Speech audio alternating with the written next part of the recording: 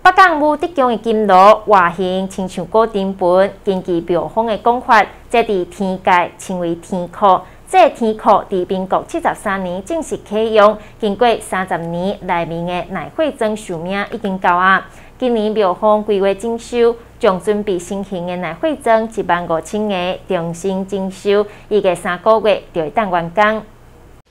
北港武德宫是全国有名的再生庙，其中金炉的造型参照固定本。庙方表示，这伫天界被合做天库，伫民国七十二年打造完成，七十三年正式启用，到现在使用也超过三十年。其中天库的内火装使用的寿命嘛高了，为此庙方决定伫今年征收天库。啊，这个天库内部啊，这个内火装吼，啊，苏当时啊所用的度数吼，内里的度数是一千三百度。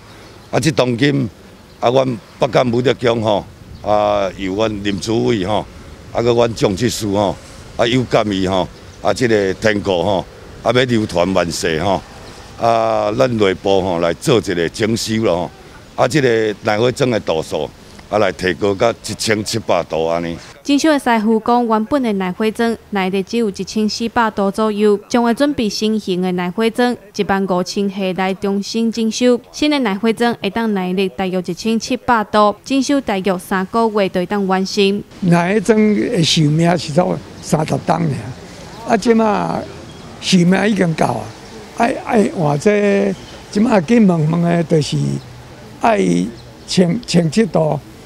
啊啊，清洁度的啊，进口才有咱台湾无无做遐济多诶，有诶新型诶，新型的就是有切，有诶错角，有或者六十五度啊，八十五度啊，做做起来做圆诶，啊，安尼起来较坚固，搁搁较无芳，较袂吐乌烟出来。